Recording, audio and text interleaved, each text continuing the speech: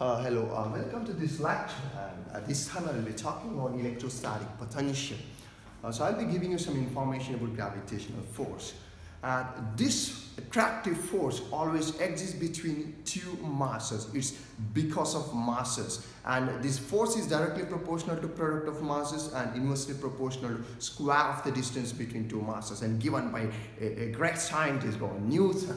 And uh, in electrostatic, you have got Coulomb's law, and because of two charges, you've got force of attraction or repulsion, depending on nature of charges, but you've got force. And the amount of force or magnitude of the force is, is directly proportional to product of charges and inversely proportional to square of the distance between them. So in both the cases, the force is conservative. So before getting to the conservative force, see, uh, the gravitational force is just because of two masses, right? And this electrostatic force is just because of two charges. And now, see, I, I got to tell you something about field. In gravitation, you've got gravitational field. Around the mass, there is a field in such a way that if you bring a, a mass, another mass, it experiences a gravitational force. So I can tell any mass you have got gravitational field around it. It's in the similar way in electrostatic, there is an electrostatic field around any charge in such a way that if you bring one more charge near to this charge, the charge will experience electrostatic force of repulsion or attraction depending on nature of charges. So I can tell that there is a region around the charge in which it experiences a force of attraction or repulsion because of other charge. So that's about the uh, electric field and forces. I can talk about the potential in the same way. In gravitation, there is a gravitational potential or we can tell it as gravitational potential energy.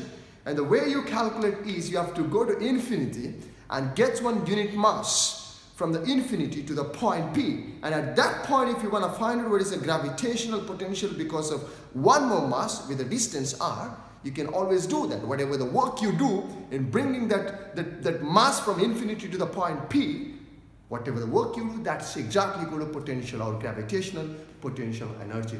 In this electrostatic, we do the same thing. But this time we're not going to take mass from infinity to the point P. We're going to take a unit charge from infinity to the point P at which I want to find out what is electrostatic potential because of this charge. So I may have a charge. Around the charge there is a gravity, you know, uh, there is uh, an electrostatic field.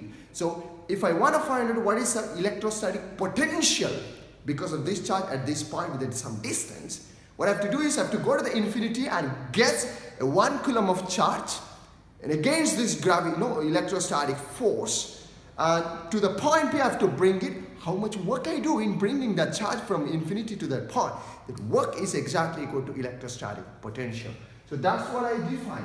So I got here plus q amount of charge and around the region of this charge I have got electric field. And at any point I can find out what is the electrostatic potential or potential energy. Uh, maybe at this point I can find it with the distance r to that, you know, what I have to do is I have to take one unit positive charge, let me say it's 1 coulomb from infinity to the point P. So there should not be any acceleration, remember. So I have to do work in bringing that unit positive charge from infinity to the point. So whatever the work I do is exactly equal to the potential energy or electrostatic potential.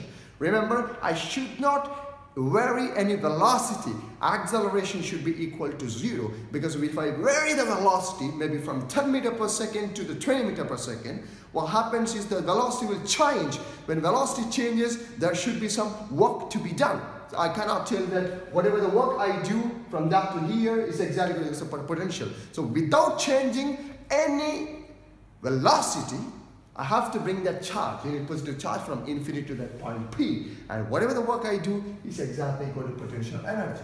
So the, uh, the, the unit charge is brought here to the point P. So that work done, so let me say it's electrostatic potential. That is, uh, I, I call it as V, which is equal to the work done in bringing a unit positive charge. That's all. So the unit of electrostatic potential is just work per charge, that is joule per coulomb, because work done is measured in terms of joule and this charge is measured in terms of coulomb.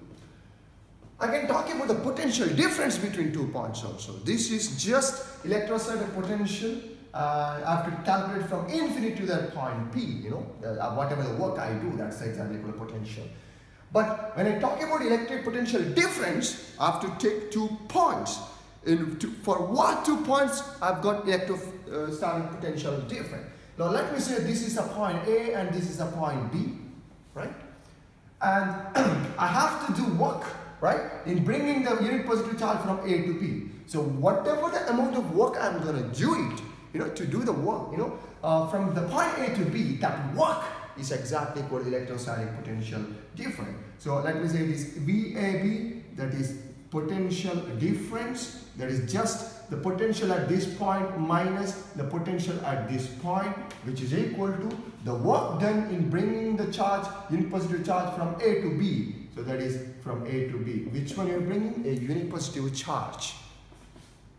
Remember, I have to do work in bringing that unit positive charge because this positive charge repels this one coulomb of charge. So every time when I, when, when I get it together, you know, when I get it close to this, there will be repulsive force, you know, between this positive charge and this positive charge. So against that electrostatic repulsive force, I have to do some work. And whatever the work I do is exactly equal to the potential energy uh, or potential, the electrostatic potential. So now I got to tell you now one thing.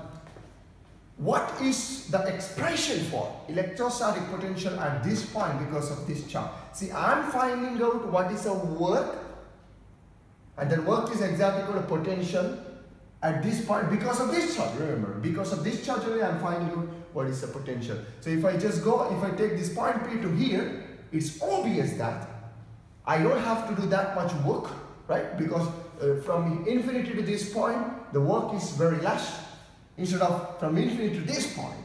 So as I go closer to the charge, work I have to do more and more. As I go away from the charge, the work I have to do is very less. And that means the electrostatic potential decreases as you go away from the charge.